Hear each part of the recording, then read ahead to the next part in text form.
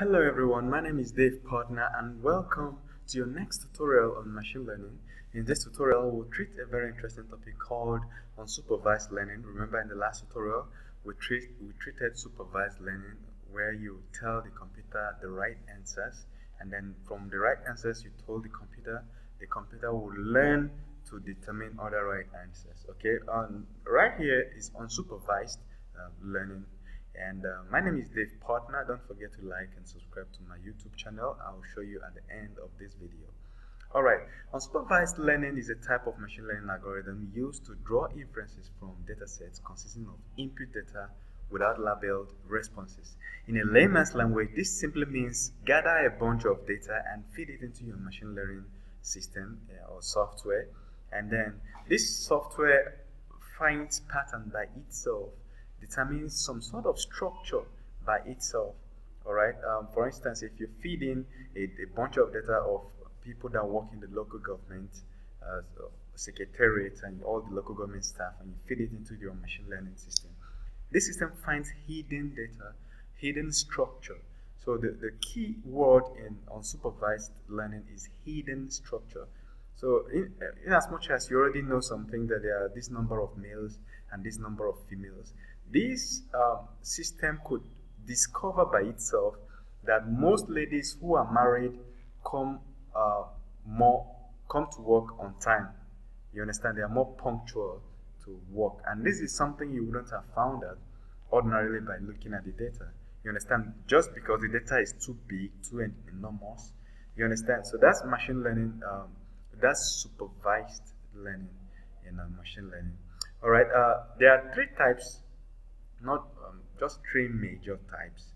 You have cluster analysis, you have density estimation, and um, dimensionality reduction. These are three basic tasks that can be performed under um, supervised, unsupervised learning. The first one is clustering. Clustering is the assignment of a set of observations into subsets called clusters, so that observations in, this, in the same cluster are similar in some sense. In a layman's language, this means it is used to form groups or clusters of similar data based on common, common characteristics.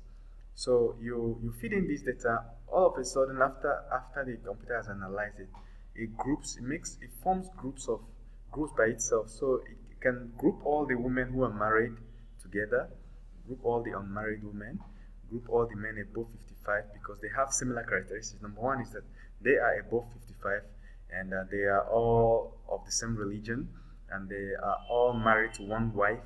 And you know the computer finds this structure by itself and groups them together. That is clustering. You understand? So uh, when you're looking at your your your data you may not find these groups by yourself but when you feed it into the computer it starts to cluster the data and find groups for you. Uh, examples of where this thing is useful is in market segmentation you have your social network analysis and um, you have um, natural language. And in natural language processing there are so many of them. You have morphology sentence segmentation disambiguation machine translation. These are places that you you, you need computer to find um, clusters or groups of data. Let me give you a very good example with the number two where you have social network analysis. Do you know that for facebook to um, give you the correct recommendation or the correct adverts the correct um, post on your your timeline, your news feed, they have to check so many things. And um, those, these things are, for instance, um, they want to check all the, the, the category of the, the news or posts you've commented on in the past, the category of people in your people you communicate with in your chat or messages, and the category of pages you like it forms a cluster with it. So any other data that falls into that cluster, it can recommend it to you. So if somebody makes, if you usually comment on religious posts, it means you like stuff about religion. So if something somebody else makes a, a post on religion, it reflects on your timeline. This guy is already your friend, and the post he makes falls into a cluster in which you are interested in.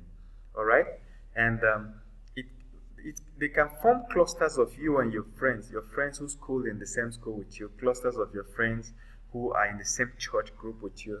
So if any one of those friends in that church group does something, they can recommend it to you because you're interested in that group because it falls into your cluster.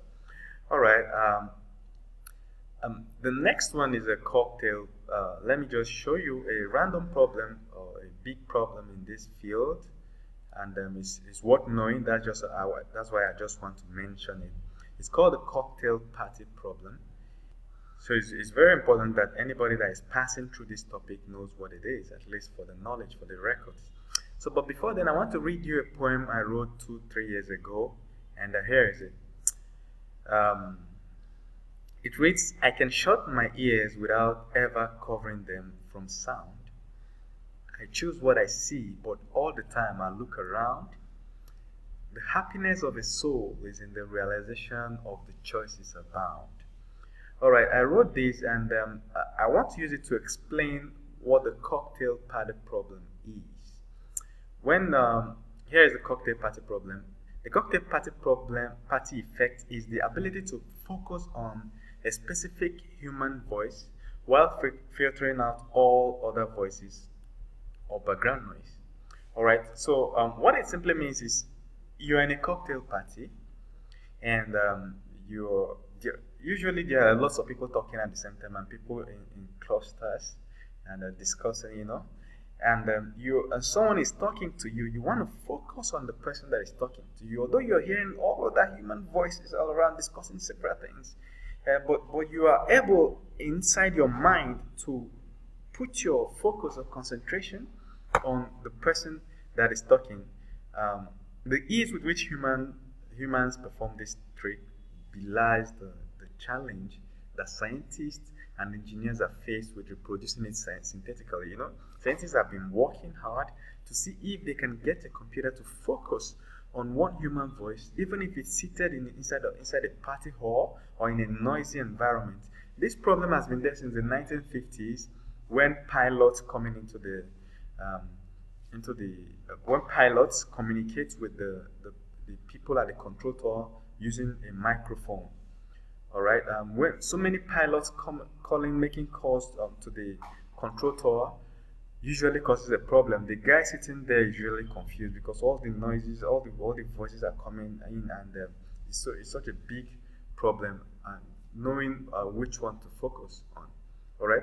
But the human mind does this very easily, and scientists have been working hard to see if they can get it um, to be performed by computers synthetically. Let me just show you an example.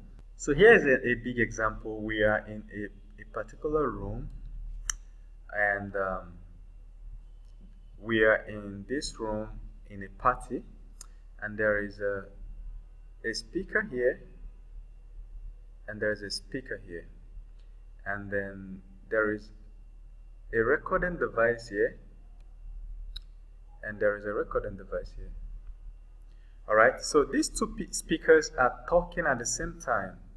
These guys are talking at the same time. As you can see, the distance from here to this recording device is shorter than the distance from this one to this recording device. So when we finally, uh, when these two devices have finished recording and we finally pick this device out and we play the voice, the recording, you'll see that there are two voices talking, but one is louder than the other. You understand? This is how they, they do it experimentally. So you see, um, you hear two voices talking. One is talking at the background, and one is talking on the foreground. So the challenge for the computer is to be able, the algorithm is to be able to filter out. Since this is the one we want to listen to, can it can it remove this guy from the picture so that uh, from the audio recording we will hear only this guy. You get now? So uh, when we get to the audio recording, we just hear one guy talking. So that's the, that's the problem for computers. Can computer be able to filter out all the other human voices in the in the recorded audio and pick out only the ones you need? All right, so that's the uh, the standard cocktail party problem. So when you get back to my poet poem, you find out that that's what I'm talking about here. I can shut my eyes without ever covering them from sound. So um, you can see that um, it's a thing I discovered in my mind that I can do it inside my mind. So you can always check out the poem later. So um, the next is the construction of an estimate based on observed data of an observe, unobservable underlying probability density function. So in um, to give you a, a, good example of this, I will first of all give you a good example of um, clustering. So we have something like this. Um, maybe we have this graph and um, inside it we have this plots of um, cluster your group of friends who schooled in the same school with you and your group of friends who are in the same church with you and uh, your group of friends who like what you like the pages you like. So if you notice in a, a typical social network um, some of some of these will this is how the, the data will be grouped at the background with the machine learning algorithm and um, so they can make the correct recommendations for you or or put you in clusters where you um, fall into. So this is what the clusters may look like and uh, but for density they want to know um, how many what, what's the relationship here? So to give you a good example of the density what you have is if we put all these all these if we map them onto a straight line, single straight line, what we'll have is, if all these dots are brought down onto a straight line, we can have dots here. Um, um, let me just call it this. So you will see that we have so many dots on this straight line, um, so many somewhere. Then you will have few for this guy if we draw all them down. We have so many again so many so many so many so many so many on this line. Then for this one we have so many again but then for here we have few. So we have very few dots here. Then we have so many so many so many so many of them. So in density estimation what we're trying to do is um, if we decide to draw a line that um, depicts the number of dots. We'll just see that when we come here, we'll say, oh, it's big. Then here is small. Then here is big. Then here it's small. And then here it's big again. And then like that. All right, so um, we're estimating the density of each of these clusters, okay? That's what density estimation is all about. All right, so in the next um, the next is the process of reducing the number of random variables under consideration via obtaining a set of uncorrelated principal variables. It can be divided into feature selection and feature extraction.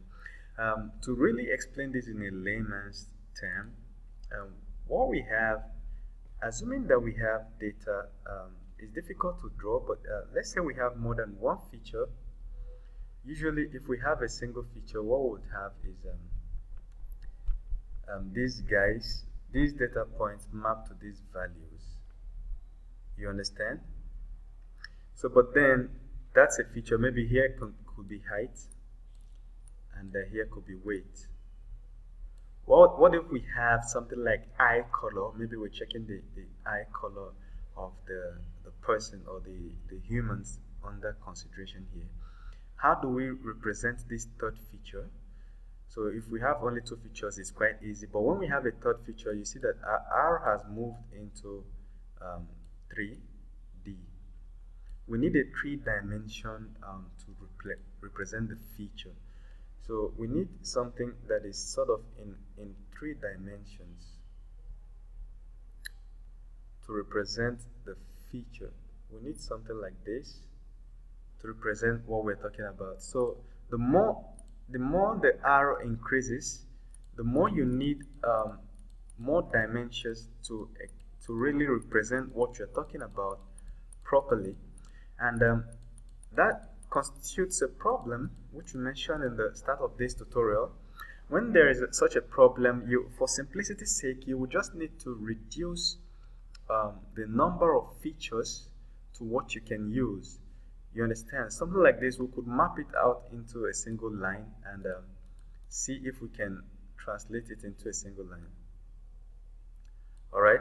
So we'll try and um, translate it into a single line. That's what dimensionality reduction is. Reduce the dimensions to what we can work with, something that is quite easy for us to, to work with. Um, you may call it something like composite key. What if we, we have this H and W and uh, we call it a third feature called A and that A contains our H and uh, our W. So it becomes one key right now. As you can see, if we do it like that, we've reduced it to one, then we can work we can work with the third feature which we reduce it to only two features. So that's what dimensionality reduction is. How many of the features can we com combine to form one feature so that we can work with it uh, with the rest. Alright, so um, thank you very much for this um, opportunity to um, complete this particular section. And uh, don't forget to like subscribe um, to my youtube channel just visit youtube.com slash c slash braintem and click on subscribe. Facebook subscribe and um, instagram. I'm on instagram all the time doing business video tutorials. And uh, i'm on twitter and also um, watch the next video tutorials because this is a series. Thank you very much. See you in the next one